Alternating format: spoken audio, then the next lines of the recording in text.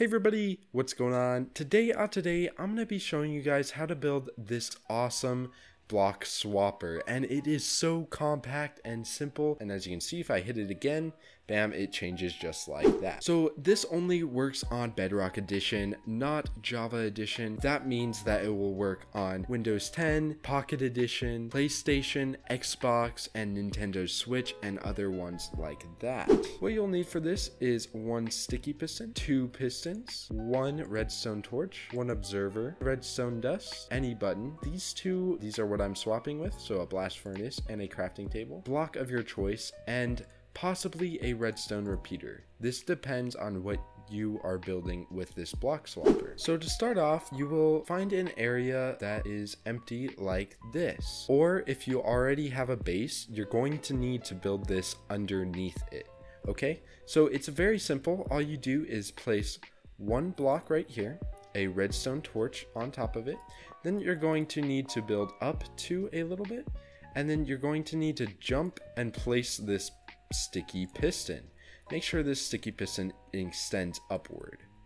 Now what you're going to do with your observer is place one on this side and one on this side. Make sure the red dot is facing you on both sides. And as you can see, there's little arrows. Make sure they're pointing away from the sticky piston.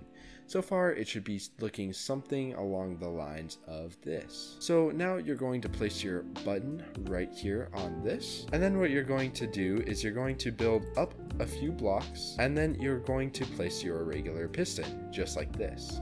You're going to do this on both sides and you can break both those blocks once you're done. So as you can see, I'm going to build up here and place a piston right there. So now once you're at this point, you're going to place one of the blocks you're going to swap out with on one of these sides of these pistons. It can be either side, it doesn't matter. And then you're going to place your other one that you're going to swap out with on the top. Once you have something looking along the lines of this, what you're going to do is you're going to place a redstone torch on this observer right here, on both of these observers.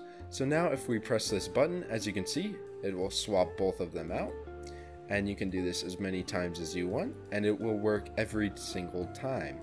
Now let's say you have your button up here, so, and you have your button in your base, and your button is right here. Keep in mind all of this will be hidden if it is in a base. What you're going to do is get your repeater and come down here. You're going to place it into this uh, redstone torch, place a block right here, and then you're going to basically lead it up, except you cannot lead it up right here. So right where this redstone dust is, you do not want to have this redstone torch right there. So what you have to do is you have to improvise a little bit. So you have to build over one more, just like this. And then what you're going to do is keep building up and then basically you're going to lead it up to where the button is. So the button is right here, there the redstone is. And if I press this, as you can see, boom, perfect. So now once you have something like this, you can basically just cover it up. This should be like the floor. Anyway, that's about it for this video. If you did enjoy, make sure to leave a like and subscribe for more content like this.